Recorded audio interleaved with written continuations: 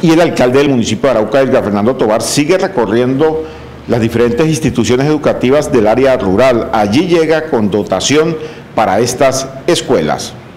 Iniciamos una serie de visitas a las diferentes escuelas de la zona rural.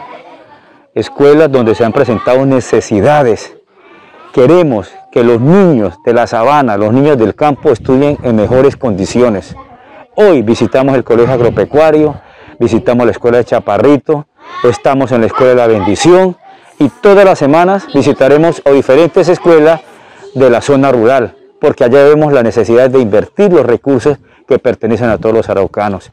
¿Qué estamos entregando? Televisores de 65 pulgadas, guadañadoras, dispensadores de agua, eh, carretillas, pupitres, mesas, escritorios, muebles para las bibliotecas, en fin, una serie de elementos importantísimos que van a dejar estas escuelas con todas las herramientas para que los niños estudien en mejores condiciones.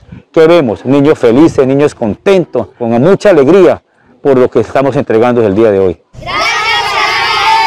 Este, le quiero pedir al alcalde todo lo que nos dio, gracias, muchas gracias.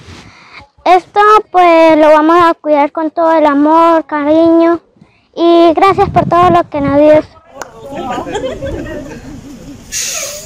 Primordial porque son materiales indispensables para ellos, o sea, la seguridad de los libros porque ya los que tenemos están que se caían.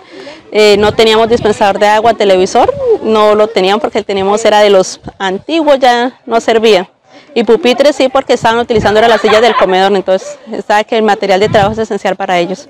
Nos habían traído libros o cositas, pero muy básicas, pero realmente así como ahorita no nos habían traído.